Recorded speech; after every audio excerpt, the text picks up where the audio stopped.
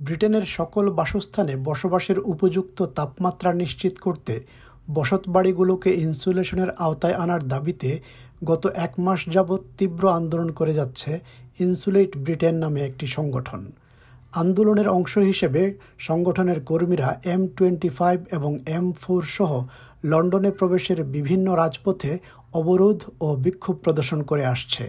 বুধবারও একই রকম এক অবরোধের কর্মসূচিতে ইনসুলেট ব্রিটেন এর কর্মীরা ডার্টফুড ক্রসিং এলাকা অবরোধ করলে গাড়ি চালকেরা তীব্র ক্ষোভ প্রকাশ করেন Son is 11. Yes. He needs to get to school today. So move out of the way and let me get my son to school. Mate, you got to move out the way.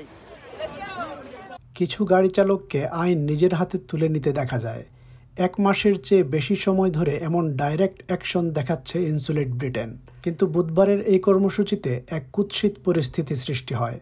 আন্দোলনকারীরা বলছেন এভাবে প্রতিবাদ করা ছাড়া তাদের অন্য কোনো উপায় নেই।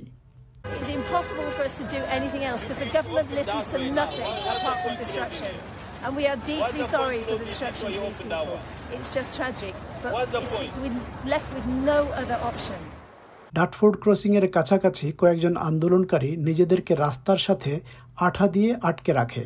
পুলিশ এসে তাদেরকে সেখান থেকে ছাড়িয়ে নেয়। এসেক্স পুলিশ জানিয়েছে, জনজীবনকে অতিষ্ঠ করার ষড়যন্ত্রের সাথে যুক্ত থাকার অভিযোগে পঁয়ত্রিশ জনকে আটক করা হয়েছে। সরকার এ বিষয়ে কয়েকটি হাইকোর্ট ইনজাংশনে জয়লাভ করেছে। এর ফলে রাস্তা অবরোধের কারণে আন্দোলনকারীরা কারাদণ্ড পেতে পারেন। স্বাভাবিক জনজীবনে ব্যাঘাত সৃষ্টি করতে ইনসুলেট ব্রিটেইন এর অবরোধ কর্মসূচি কার্যকর প্রমাণিত হয়েছে এবং জনগণের দৃষ্টি আকর্ষণ করতে সমর্থ হয়েছে। কিন্তু এই আন্দোলনে তারা জনগণের সমর্থন পাচ্ছে কিনা সে বিষয়টি এখনও পরিষ্কার নয়।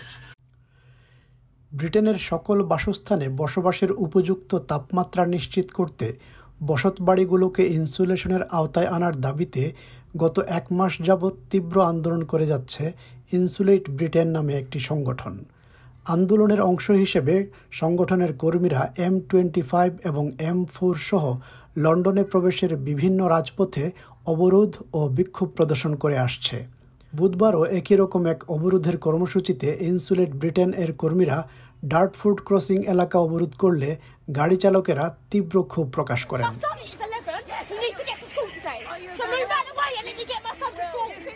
Mate, you got to move out the way.